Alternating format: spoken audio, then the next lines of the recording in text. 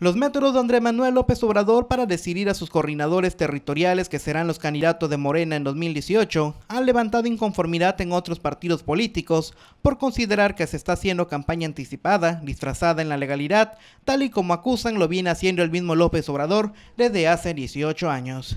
El más reciente fue la designación de quien contenderá por la jefatura de gobierno de la Ciudad de México, en la que según Morena resultó ganadora la jefa delegacional de Tlalpan, Claudia Sheinbaum. Sin embargo, el proceso levantó sospechas por no hacerse una encuesta pública, sin una presunta simulación controlada por Andrés Manuel López Obrador y su hijo Andrés Manuel López Beltrán desde una de sus residencias en la Ciudad de México, habilitada como oficina. Es decir, se habría aplicado un dedazo y no una consulta con la militancia. Entre los aspirantes a este mismo cargo estaban Martí Batras, dirigente de Morena en la capital del país, Mario Delgado, senador de la República, y Ricardo Monreal, jefe delegacional de Cuauhtémoc. Este último no se mostró satisfecho con el método de selección, pero descartó abandonar Morena. Eh, me hubiera gustado que se hubiera hecho una encuesta espejo, siempre se los dije.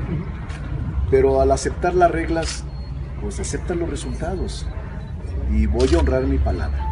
No se va de Morena si no gana. No, no me voy, no me voy.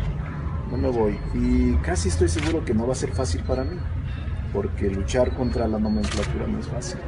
Ricardo Monreal, quien lideraba las preferencias internas para ser candidato de Morena en la Ciudad de México, fue señalado de intervenir junto con la senadora Laira Sansores a favor de Delfina Gómez en las pasadas elecciones en el Estado de México, en tirata ajena a sus demarcaciones. E incluso, el chofer de Monreal fue asegurado con dinero para pagar a los presuntos acarreados, así como un arma de fuego. Telemar Noticias.